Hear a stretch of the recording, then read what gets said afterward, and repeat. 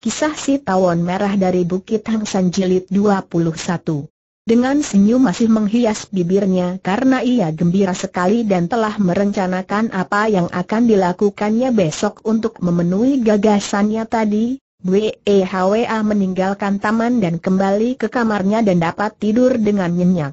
Sama sekali ia tidak tahu bahwa tadi ketika ia mendengarkan percakapan kedua kakak beradik itu, ada bayangan lain yang melihatnya dan ikut mendengarkan percakapan Ui Kiang dan Ui Kong itu.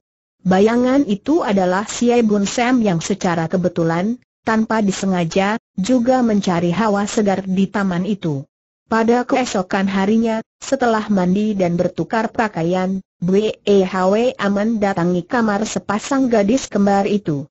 Mereka tinggal sekamar dalam sebuah kamar yang besar yang diperuntukkan mereka oleh kakak beradik UI. Setelah dipersilakan masuk, BEHWA mendapatkan sepasang gadis kembar itu juga telah mandi dan memakai pakaian yang bersih dan rapi. Wah, sepagi ini engkau sudah begini cantik dan rapi hendak ke manakah engkau? Kami harap engkau tidak ingin segera pergi meninggalkan tempat ini, kata Kim Siang.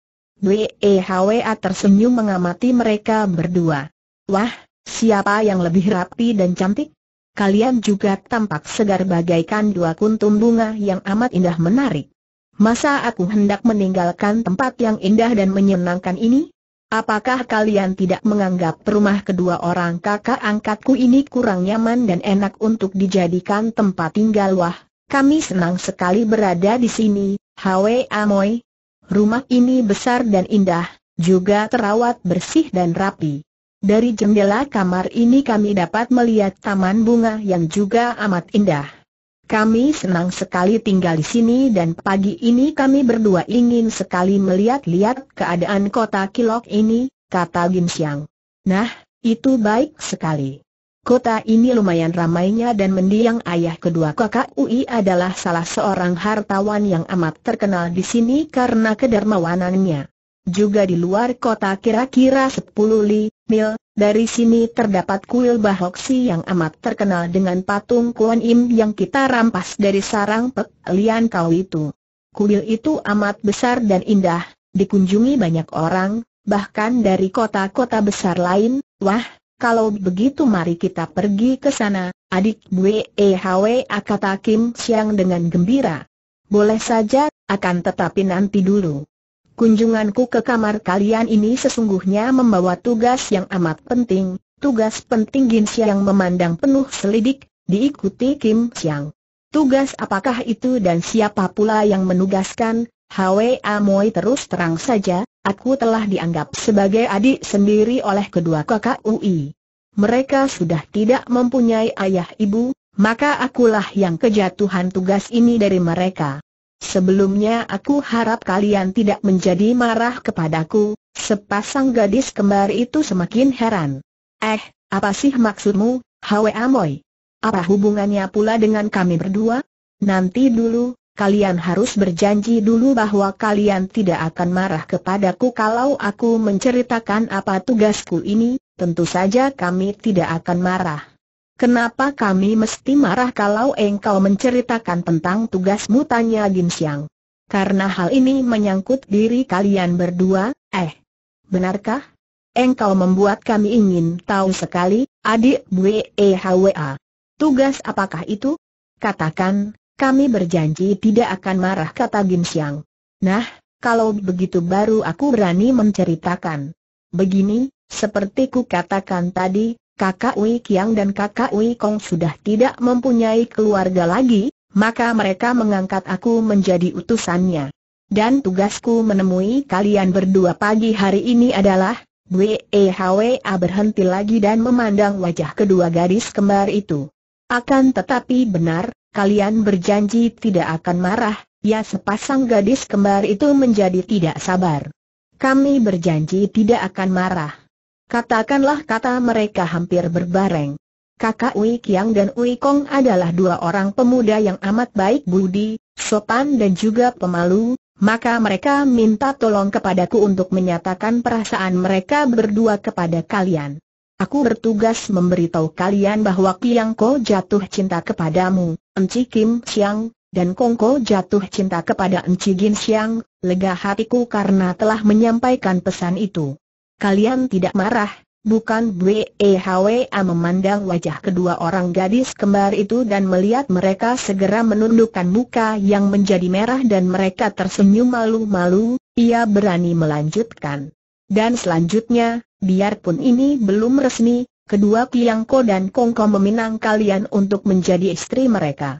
Tentu saja kalau diharuskan, mereka akan mengajukan pinangan secara resmi, setelah itu akan diadakan upacara pernikahan dengan pesta meriah dua orang gadis itu masih menundukkan muka.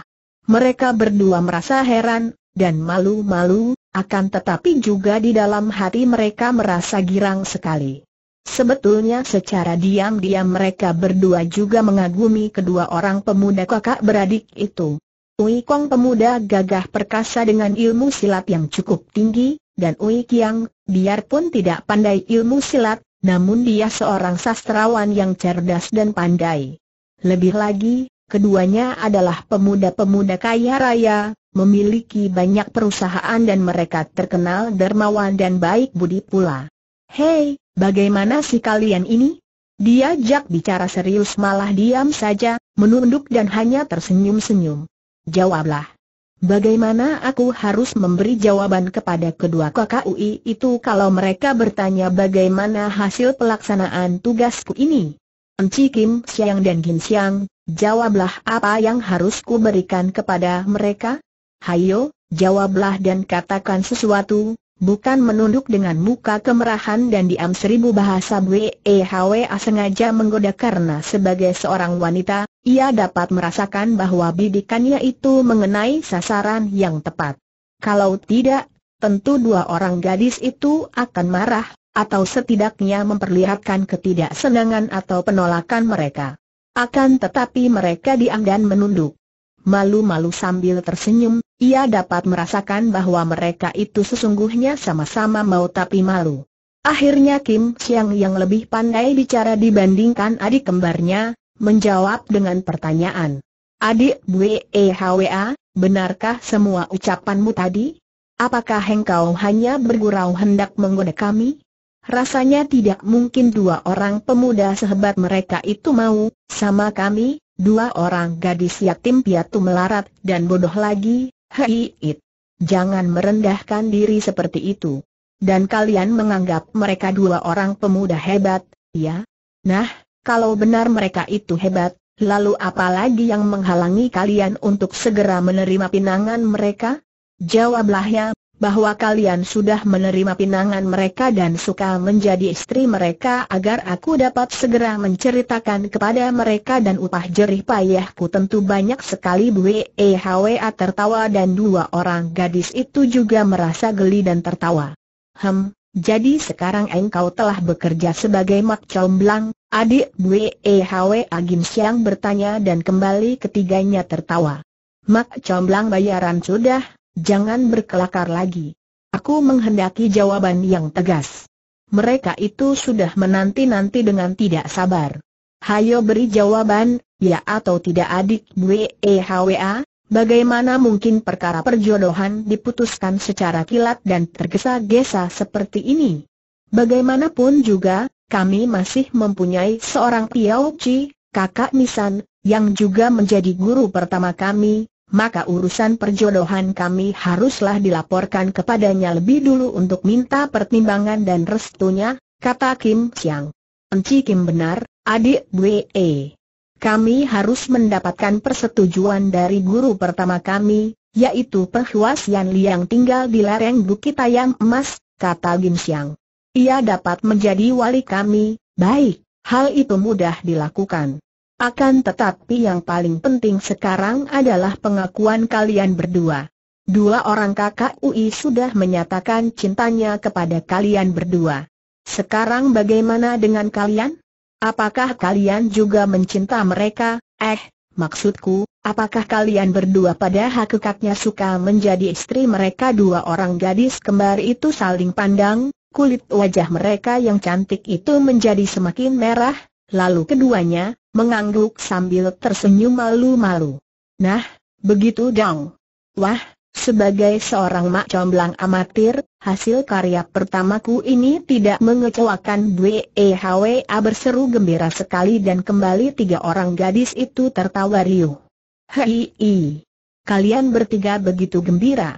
Bolehkah kami ikut merasakan kegembiraan itu sepasang gadis kembar itu terbelalak kaget dan menundukkan muka mereka ketika melihat bahwa yang datang adalah Ui Kiang dan Ui Kong yang agaknya tertarik oleh suara tawa tiga orang gadis itu. Melihat mereka, WEHWA terkejut. Celaka, permainannya bisa ketahuan, pikirnya. Maka ia lalu berlari keluar dan di depan pintu ia memegang tangan Ui Kiang dan Ui Kong, Lalu diajaknya pergi ke ruangan lain. Tentu saja kalian boleh ikut gembira karena aku membawa kabar baik seru BEHWA nyaring agar terdengar dua orang gadis dalam kamar itu. Kakak beradik itu pun heran dan terkejut melihat BEHWA menggandeng tangan mereka dan menariknya ke ruangan lain. Eh, Hwa Amoy, ada apakah ini mereka tentu saja merasa heran karena gadis ini belum pernah bersikap sedemikian akrab, apalagi sampai memegang tangan mereka dan menariknya masuk ke ruangan dalam itu. Setelah tiba di ruangan itu, WEHWA melepaskan tangan mereka dan berkata, silakan duduk, Kiangko dan Kongko. Aku membawa kabar yang amat baik dan menggembirakan kalian kedua orang kakak beradik itu duduk berhadapan dengan WEHWA memandang wajah Ayu itu penuh selidik. Kabar apakah, Hwe Amoy. Engkau begini penuh rahasia kata Ui Kong. Coba sekarang jawablah dulu pertanyaanku. Kian Ke, engkau mencintakan Kim Siang dan Kong Ko mencintakan Gin Siang, bukan kakak dan adik itu terkejut sekali dan merasa khawatir kalau-kalau hal itu membuat gadis yang telah dipertunangkan dengan seorang di antara mereka itu menjadi marah. Bagaimana engkau dapat berkata begitu tanya mereka hampir berbareng. Melihat pandang mata kedua orang pemuda itu kepadanya mengandung kekhawatiran, maka Bwe Hwa tersenyum dan berkata, Akuilah saja terus terang, aku tidak akan marah. Aku akan marah kalau kalian berbohong dan tidak mau mengaku secara jantan. Nah, kuulangi pertanyaanku. Kian Ke, engkau mencinta Cikan Kim Siang, bukan Ki yang memandang Bwe Hwa dengan muka berubah kemerahan. Dia menghela napas panjang lalu menjawab, tidak kusangkal, Hwe Amoy, aku mencinta adik Ken Kim Siang, dan engkau mencinta Ken Gin Siang, Kong Ko Ikong akhirnya menjawab dengan tegas. Benar, Hwe Amoy, aku mencinta adik Ken Gin Siang. Akan tetapi bagaimana engkau tahu akan hal itu ya, bagaimana engkau mengetahui rahasia hati kami itu, Hwe Amoy Uiki yang juga bertanya. Dengarlah baik-baik. Semalam secara tidak sengaja aku mendengar percakapan kalian berdua di taman, ahaha kakak beradik itu terkejut sekali. Tenanglah. Aku sama sekali tidak marah dan susah, bahkan aku merasa gembira sekali. Untuk membuktikan bahwa aku tidak marah atau susah, pagi ini aku mendatangi kedua enci kembar itu dan aku mewakili kalian berdua untuk menyatakan keinginan kalian untuk memperistri mereka, mengajukan pinangan secara tidak resmi. Ah kakak beradik itu semakin terkejut. Jangan berah-ah beruhuh, karena hasilnya amat menggembirakan. Kedua enci kembar itu menerima cinta kasih kalian dengan girang. Mereka bersedia menjadi istri kalian, sekarang tinggal melamar dan menanti laporan mereka kepada Piao Chi mereka di Bukit Ayam Emas, yaitu Pek Hwe Asian Li. Nah, Bukankah itu kabar yang amat membahagiakan kalian kakak beradik itu saling pandang, lalu menatap wajah WEHWA. Aduh, terima kasih atas semua kebaikanmu ini, Hwe Amoy kata Ui Kong. Hwe Amoy, kami mohon maaf kepadamu kalau tanpa disengaja kami telah menyinggung perasaanmu, kata Ui Kiang. WEHWA tersenyum. Sama sekali tidak, Kiangko, aku bahkan merasa gembira sekali karena sesungguhnya, aku sendiri sama sekali belum mempunyai keinginan untuk menikah. Kalau aku sampai menghubungi kalian, itu adalah karena aku ingin menaati pesan terakhir ibuku, ah, kalau begitu, sekali lagi terima kasih, Hwe Amoy. engkau sungguh seorang gadis yang bijaksana dan baik budi kata Ui Kong. Hwe Amoy, karena kita bertiga ini sama-sama sudah yatim piatu dan tidak mempunyai sanak keluarga lain, maka kami akan merasa berbahagia sekali kalau engkau mau menjadi adik angkat kami agar hubungan baik antara ibu kita dapat dilanjutkan kata Ui Kiang. Aku akan senang sekali menjadi adik angkat kalian jawab Bwe Hwa. Bagus. Wah, kami yang merasa beruntung sekali kata Ui Kong. Siang ini kita rayakan pengangkatan saudara ini.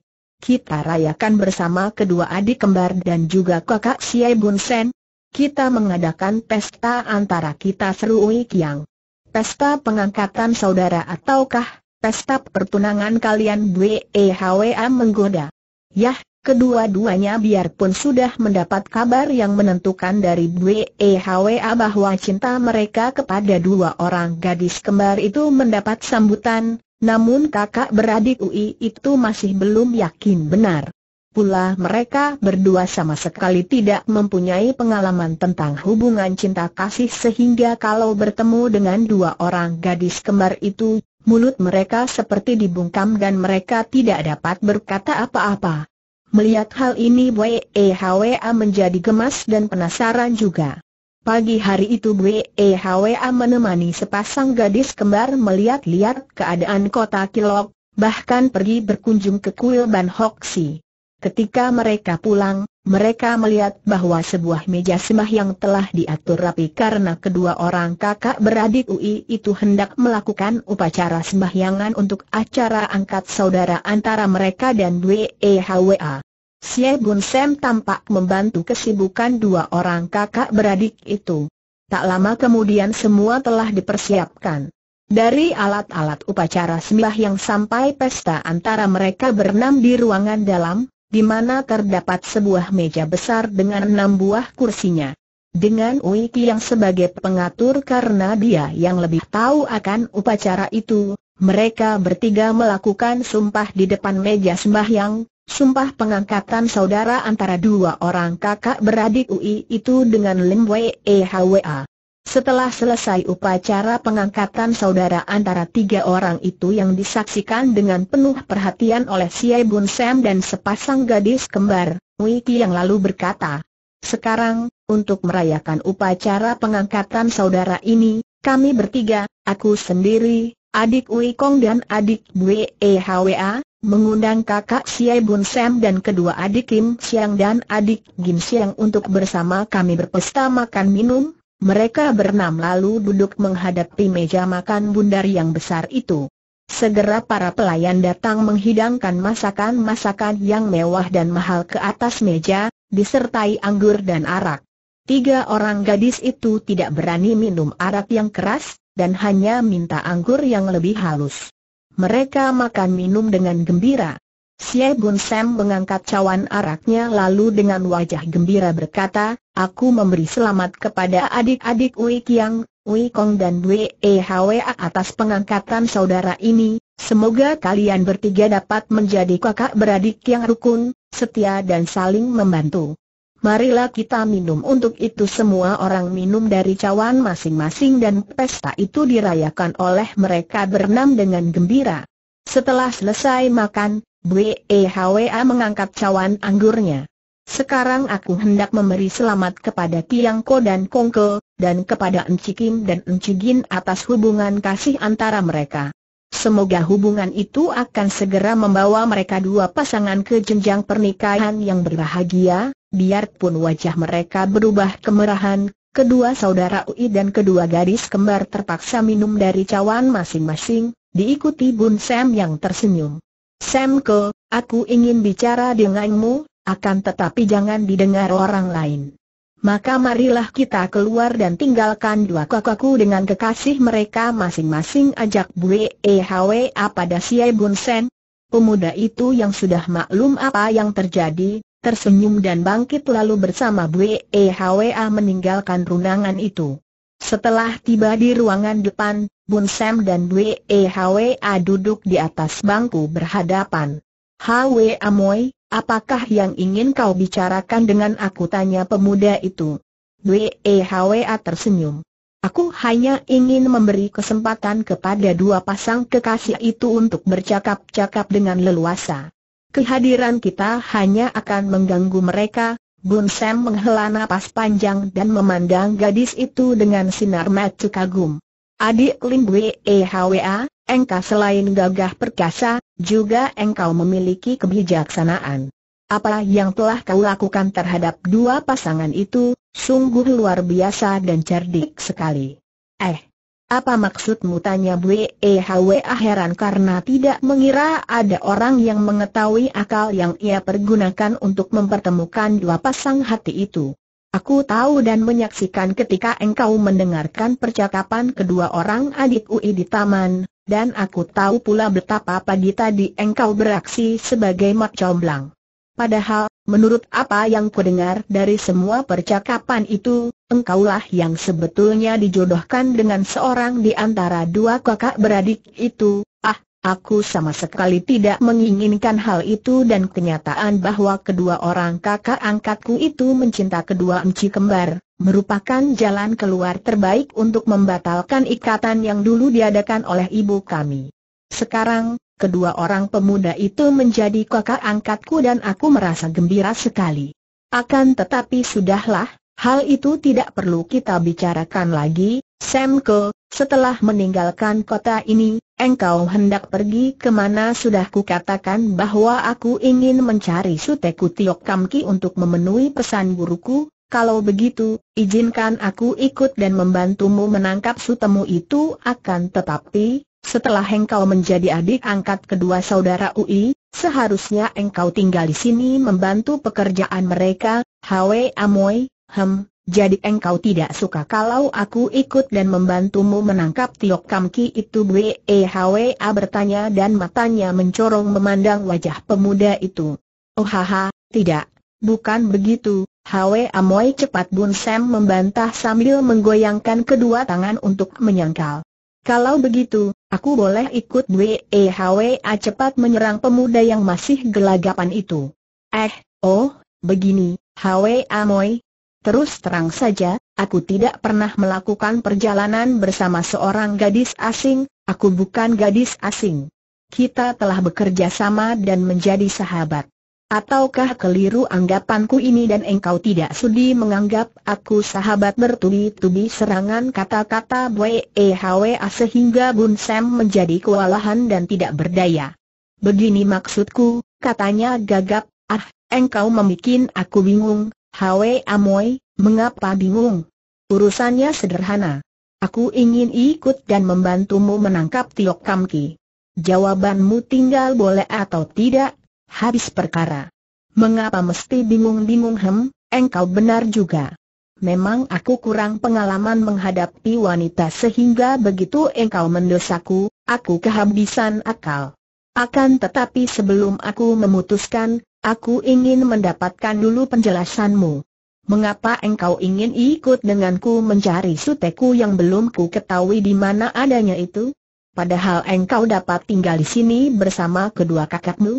Mengapa mencari kesusahan dan kesulitan melakukan perjalanan tidak tentu arahnya dan mungkin menghadapi segala macam bahaya? Baik, akan ku jawab. Akan tetapi setelah itu, engkau harus pula memberi jawaban, boleh atau tidak. Begini, Samko. Aku adalah seorang pengembara, ingin bertualang, tidak akan betah tinggal di rumah, betapapun baiknya dan menyenangkannya rumah itu. Selain itu, Aku pun mendendam sakit hati kepada Tiok Kam Ki, mengingat akan kematian sahabat baikku, kakak Ong Siong Li, akan tetapi, menurut apa yang kudengar dari kalian, saudara Ong Siong Li itu tewas karena dikeroyok oleh Ang Bin Moko dan anak buah kalian kau, sedangkan Ang Bin Moko sudah tewas oleh adik Wei Kong. Bukankah itu berarti kematian saudara Ong Siong Li telah terbalas Bwe Hwa menggeleng kepalanya? Akan tetapi penyebab tuasnya kakak Ong Siong Li adalah karena Kam Ki yang berada di sana dan memimpin Pek Lian Kau. Kalau tidak ada dia, kami bertiga, aku Kongko dan Liko akan mampu membasmi Pek Lian Kau dan Liko tidak akan tewas. Biang keladinya adalah Tiok Kam Ki dan juga aku ingin membalas karena dia pernah menangkap aku dan kedua encikan dengan niat terkutuk dan keji Bun Sam mengerutkan alisnya. Hwe Amoy, aku tidak ingin membunuhnya, hanya menyadarkannya dan mengajak dia pulang kepada suhu agar suhu dapat menyembuhkan sakitnya. Sakit? Dia sakit benar, Hwe Amoy. Bukan jasmaninya yang sakit, melainkan rohaninya. Aku tidak ingin engkau membunuhnya. Dengar, Hwe Amoy, dendam merupakan racun yang akan merusak hati sendiri. Dendam menimbulkan kebencian dan seorang pendekar menentang orang yang sesat untuk menghentikan perbuatan jahatnya, bukan menentang karena kebenciannya. Kebencian menghilangkan keadilan, padahal seorang pendekar harus mempertahankan kebenaran dan keadilan. Aku, pernah mendengar akan nama Sin Kiam Lojin dari guruku yang memujinya sebagai seorang pendekar pedang yang bijaksana dan baik budi. Aku percaya bahwa sebagai muridnya engkau pun tentu memiliki sifat-sifatnya yang bijaksana itu. WEHWA menundukkan mukanya dan teringatlah ia kepada gurunya, Sin Kiam Lojin dan hatinya merasa terharu. Memang dahulu gurunya sering menerangkan kepadanya soal kebijaksanaan. Setelah kini ia kehilangan ibu kandungnya, biarpun ia sudah mendapatkan dua orang kakak angkat yang baik dan sayang kepadanya, namun ia merasa rindu kepada gurunya yang telah mengasuh dan mendidiknya semenjak ia berusia delapan tahun. Gurunya sudah tua dan tinggal sebagai pertapa, seorang diri di rumah puncak bukit pegunungan Hengsan. Setelah menghela napas panjang, ia berkata, Engkau benar, Samko. Ucapanmu mengingatkan aku kepada guruku. Pernah Suhu mengatakan bahwa lebih baik orang jahat yang bertaubat dan menghentikan kejahatannya daripada orang yang merasa dirinya baik karena sekali waktu tidak akan dapat menyeleweng dari kebenaran.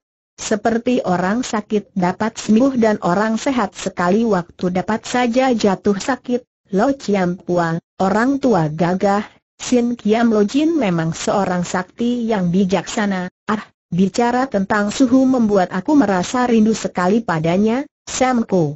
Kalau begitu, tentang Kamki biar ku serahkan saja padamu apa yang akan kau lakukan terhadap dirinya.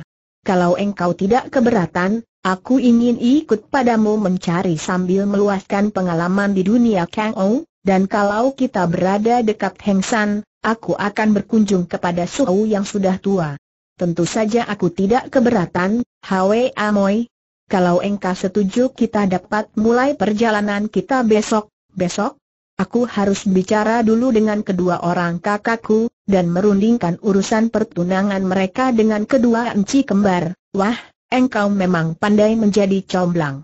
Mungkinkah kelak engkau juga menjadi comblang dan mencarikan seorang jodoh untukku? Apakah engkau yang sudah berusia 25 tahun belum mempunyai calon jodoh? Sam Kogun Sam tersenyum dan menggeleng kepalanya. Belum, Hwe Amoy. Entah mengapa, akan tetapi sampai sekarang aku masih belum laku. Bahkan yang datang menawarkan belum pernah ada ih. Memang engkau ini barang dagangan? Hayo kita temui mereka, Samko. Sudah cukup lama kita memberikan kesempatan kepada mereka untuk bercakap-cakap dan berunding. Mari Samko mereka lalu memasuki ruangan di mana mereka tadi meninggalkan dua pasang kekasih itu bercakap-cakap dengan leluasa. Karena tidak ingin mengganggu, maka setelah tiba di depan pintu ruangan, sebelum masuk Bun Sam mengetuk daun pintunya terlebih dulu. Siapa? Masuklah terdengar Ui Tiang menegur dari dalam. Dwe Hwe dan Bun Sam muncul dan serentak empat orang muda yang berada di dalam menyambut dengan gembira dan mereka berseru, Nah, ini Mak Comblang kita datang Dwe Hwa memandang kepada mereka dan ikut tertawa senang melihat betapa wajah empat orang itu begitu cerah berseri dan mereka tersenyum gembira. Hem, Sepatutnya kalian berempat berterima kasih dan memberi hadiah kepadaku, bukan malah mentertawakan aku kata Bwe Hwa. Dua orang gadis kembar menghampiri dan merangkulnya. Adikku yang manis, kami memang amat berterima kasih padamu kata Ui Kiang dan Ui Kong hampir berbareng. Mereka semua duduk mengelilingi meja. Nah, sekarang ceritakan padaku, Keputusan apa yang telah kalian ambil? Aku sebagai Mak Comblang harus mengetahuinya begini, Hwe Amoy. Adik Gin Siang bersama aku akan pergi mengunjungi Pek Hwe Asian Li di Kim Kesan, Bukit Ayam Emas, untuk membicarakan urusan perjodohan kami berempat, sedangkan Enci Kim Siang akan berada di sini membantu Kiang Ko mengurus perusahaan kita yang cukup merepotkan. Tentu saja engkau juga harus membantu Kiang Ko mengurus beberapa macam perusahaan kita, Hwe Amoy, wah, sayang sekali aku belum dapat membantu, Kiang Ko dan Kongko. Aku juga akan pergi membantu Sam Ko mencari Tiok Kam Ki, dan aku ingin mengunjungi guruku di Hengsan untuk memberitahu bahwa aku telah mendapatkan dua orang kakak angkat yang baik hati di Kilok. Aku sudah merasa rindu kepada Suhu yang sudah tua. Tapi, engkau harus berada di sini kalau kami merayakan pernikahan kami kata Ui Kiang. Benar, Hwe Amoy, kami tidak akan merasa bahagia kalau adik kami satu-satunya tidak hadir menyaksikan upacara pernikahan kami kata Ui Kong. Hwa tertawa. Hem, jangan kalian khawatir, kakak-kakakku yang baik. Katakan saja, kapan pernikahan kalian dilaksanakan, aku pasti akan pulang pada waktunya ah. Hal ini kami belum dapat memastikan kapan, Hwe Amoy, kata Ui Kiang.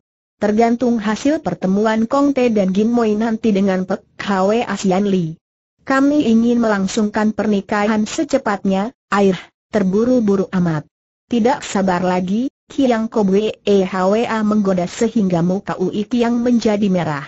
Hus celah Ui Kong.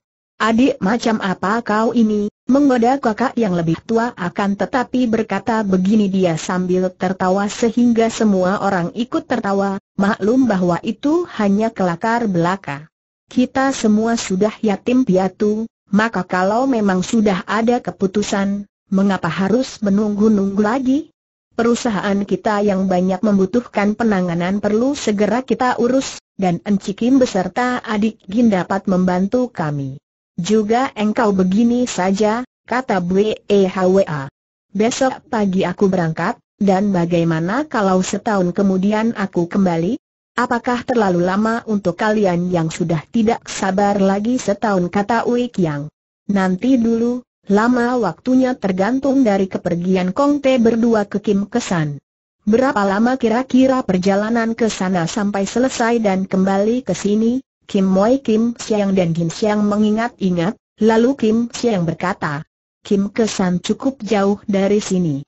Perjalanan menunggang kuda akan makan waktu sekitar dua bulan, hem, dua bulan. Jadi perjalanannya saja empat bulan pulang pergi, belum waktu yang dipergunakan untuk berunding di sana bersama Pek Hwe Asian Li, dan belum lagi diperhitungkan kalau ada rintangan dalam perjalanan. Kukira kalau aku kembali satu tahun setelah besok aku pergi, aku tidak akan terlambat menghadiri upacara pernikahan kalian, baiklah, Hwe Amoy. Kami pun harus menghabiskan masa perkabungan kami. Jadi, setahun lagi engkau harus pulang dan kami akan menunggu kedatanganmu sampai setahun sejak besok pagi, kata Ui Kiang. Malam itu, enam orang muda ini bercakap-cakap sampai jauh malam. Mereka bercakap-cakap dan bersendau gurau sehingga suasana semakin akrab. Bahkan Siai Bun Sam sendiri yang selama ini tinggal di pegunungan Himalaya yang sunyi, merasa amat gembira karena belum pernah dia mendapatkan sahabat-sahabat yang sehaluan dan sebaik mereka.